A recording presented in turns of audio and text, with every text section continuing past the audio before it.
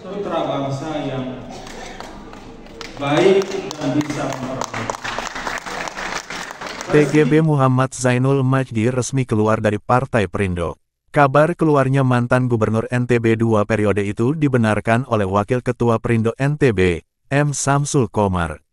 Ditanya soal, akan ke mana arah politik TGB selanjutnya Komar mengaku sampai saat ini belum mengetahuinya. Lebih lanjut, pihaknya menghargai sikap politik TGB saat ini, itu merupakan hak asasi dari setiap warga negara dalam mengekspresikan sikap politiknya. Sikap politik tersebut tentu sudah atas pertimbangan matang dari beliau. Apalagi beliau saat ini posisinya tidak juga menjadi bagian dari partai politik lain juga, kata Komar. Sebelumnya TGB yang saat ini Ketua Umum NWDI itu pernah menjabat sebagai Ketua Harian DPP Perindo sebelum digantikan oleh Angela Tanusudibjo.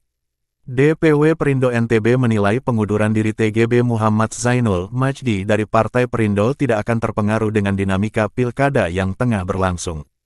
Kami tidak membaca ada pengaruh antara sikap politik TGB memilih tidak lagi menjadi bagian dari pengurus parpol mana pun dengan situasi pilkada.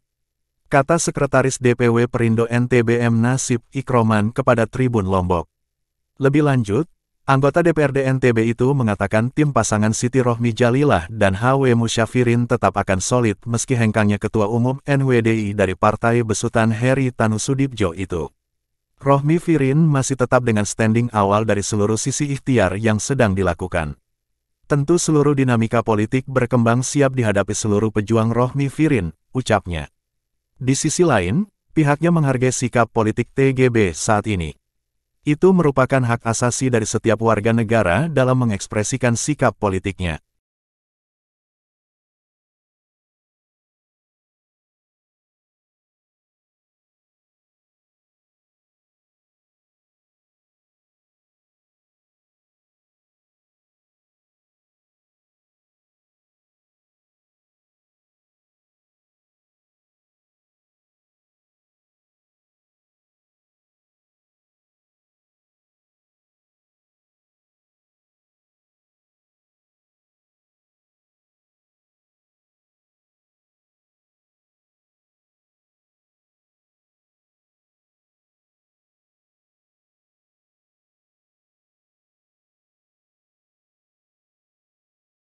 Download Tribun X sekarang.